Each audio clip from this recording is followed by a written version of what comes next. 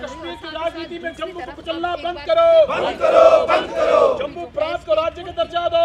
दर्जा दो दर्जा दो। जम्मू प्रांत को राज्य का दर्जा दो। दर्जा दो दर्जा दो। कश्मीर के गुनाहों की सजा जम्मू को देना बंद करो। बंद करो बंद करो। दिल्ली और कश्मीर की राजनीति में जम्मू को कुचलना बंद करो। बंद करो बंद करो। कार अलायंस हाय हाय।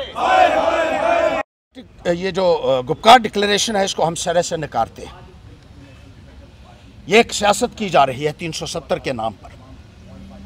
अब 370 जो है वो सबको समझना होगा कि ये ख़त्म हो चुका है और इसके ऊपर किसी भी किस्म की सियासत नहीं होनी चाहिए। भारतीय जनता पार्टी को भी बार बार अपनी पीठ थपथपाना बंद करना होगा।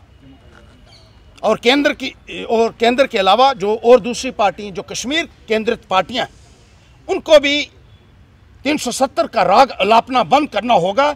अब लोगों की समस्याओं की तरफ़ ध्यान देने की ज़रूरत है। जम्मू कश्मीर के अंदर इस वक्त जो है वो लोग त्राही त्राही मची हुई है। कोई विकास नाम की चीज़ नहीं हो रही है। मुलाजमत लोगों को नहीं मिल रही है। लोगों के काम नहीं हो रहे हैं। महँगाई जो है वो अपनी चरम सीमा के ऊपर है। कोविड की परेशानी है। कोरोना से लोग मारे जा रहे हैं। लेकिन यहाँ सियासत की जा रही है 370 के नाम पर। अरे 370 तो ख़त्म हो चुका है। और वैसे भी वो सुप्रीम कोर्ट के अधीन है। उसके ऊपर किसी भी किस्म की सियासत करना जो है, वो जस्टिफाइड नहीं होगा। और ख़ास तौर पर हम कहना चाहते हैं कि जम्मू प्रांत को मुकम्मल तरीके से अनदेखी की जा रही है। यहाँ हमें एक होस्टेज बना रखा है कश्मीर समस्या का। कश्मीर के नाम पर हमें अपने मौलिक अधिकारों तक से वंचित किया जा रहा है। हमारा 4G कनेक्टिविटी बंद कर दिया गया क्योंकि कश्मीर में समस्या है। सुप्रीम कोर्ट ने कहा, ये हमारा फंडामेंटल राइट है, ये हमारा कॉन्स्टिट्यूशनल राइट है. उसके बावजूद भी यहाँ फोर जी रिस्टोर नहीं किया जा रहा है, क्योंकि कहा जा रहा है कि कश्मीर की प्रॉब्लम की वजह से यहाँ आपको फोर जी नहीं दिया जा सकता। हमारी स्टेट हमसे छीन ली गई, जो सबसे पुरानी डोगरा स्टेट थी पूरे हिंदुस्तान में, कि कश्मीर में समस्या है। हमारे मौलिक अधिकारों से, हमारे जमहूरी अधिकारों से हमें वंचित कर दिया गया। डेमोक्रेसी से हमें पिछले दो सालों से वंचित किया हुआ है। यहाँ इलेक्शंस नहीं हो रहे हैं, क्योंकि कश्मीर के अंदर समस्या है। और इसी तरीके से जम्मू के लोगों को, यहाँ के नौजवानों को रोज़गार से वंचित किया हुआ है।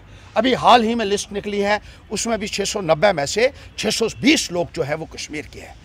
मात्र 10 परसेंट के करीब जो है, लोगों को जम्मू में हिस्सा दिया गया है। जम्मू को जो आपने पूरे तरीके से नज़रअंदाज किया हुआ है, और जम्मू को एक सेकंड फिडल रोड प्ले करने के लिए आपने रखा है। जम्मू को आपने कश्मीर का अपेंडिक्स बना दिया है। यहाँ के लोग पिछले सत्तर वर्षों से इंतज़ार कर रहे हैं कि उनके साथ इंसाफ होगा।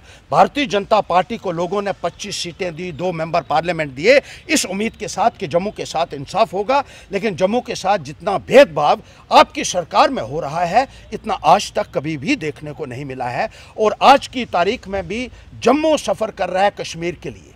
कश्मीर के गुनाहों के लिए जम्मू क्यों सफ़र करे? मैं ये पूछना चाहता हूँ, अगर कश्मीर की प्रॉब्लम है, आप कश्मीर को सेपरेटली डील कीजिए अपने तरीके से। ये मैं केंद्र सरकार को कहना चाहता हूँ, और जजा दीजिए, जिसके लिए पैंथर्स पार्टी जो है वो लामबंद हो चुकी है, और आने वाले वक्त में स्टेटहुड जम्मू के लिए डिमांड के लिए और ज़्यादा इस आंदोलन को उग्र रूप देगी।